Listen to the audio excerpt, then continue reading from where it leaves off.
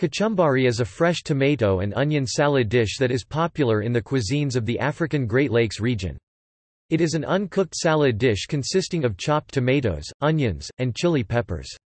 Variations of kachumbari can be found in Kenya, Tanzania, Rwanda, Uganda, Burundi and in the southern African countries of Malawi and Congo. The Swahili word kachumbari originated from the Indian word cachumber.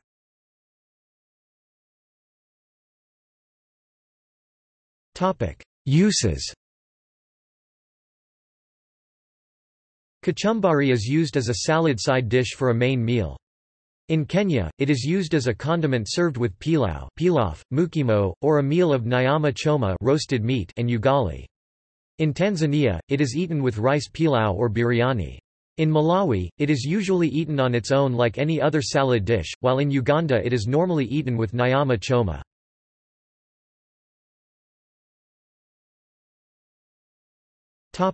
Variations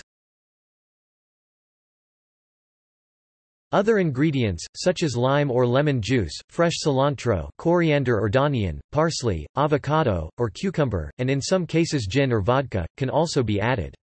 Some recipe variations also call for habanero or scotch bonnet peppers, with a touch of ground cayenne pepper. Kachumbari is popular throughout the African Great Lakes region and can be eaten with African pilaf and African biryani.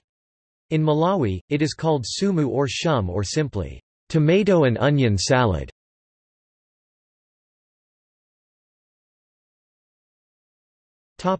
See also. List of African dishes. List of onion dishes.